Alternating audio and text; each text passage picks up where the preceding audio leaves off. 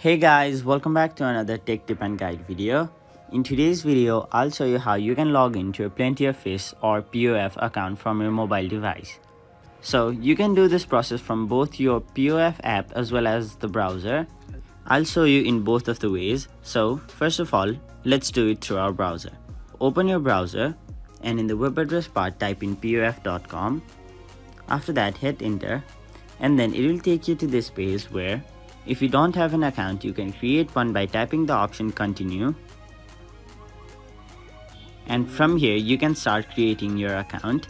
But since we already have an account and just want to log in, we'll go back and tap the option sign in which you can find on either the top right corner of the screen or just below the continue option.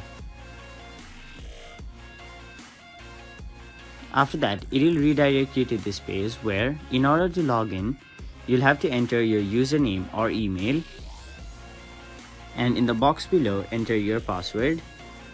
After that, tap login and you'll be successfully logged into your Plenty of Fish account on your mobile device. So now, let's do it through our app. So in order to do it through your app, first of all, you must have the app downloaded. Here, I'm on an iOS device, so I'll open App Store. But if you are on an Android device, go to your Play Store and in the search bar, type in POF here you can see that the first one is ad so you don't want to download the ad. Instead you want to download the app called plenty of fish dating. As you can see it's already downloaded on my device so I'll simply open it.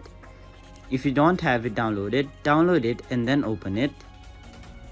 Now as you previously saw in the browser the process is kind of similar so if you don't have an account you can create one by tapping the option continue.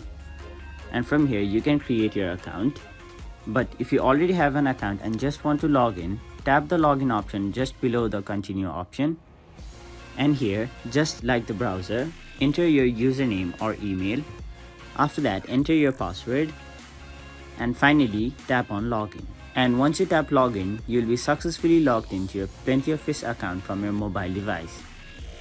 So that is it for this video. Hope this video was helpful to you guys and if it was, please make sure to like this video and subscribe to our channel for more informational and helpful videos like these.